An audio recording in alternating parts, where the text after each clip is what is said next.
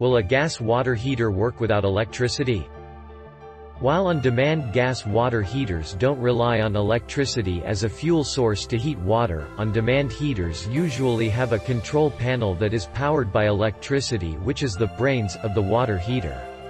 So even a tankless gas water heater will not work independently in a power outage.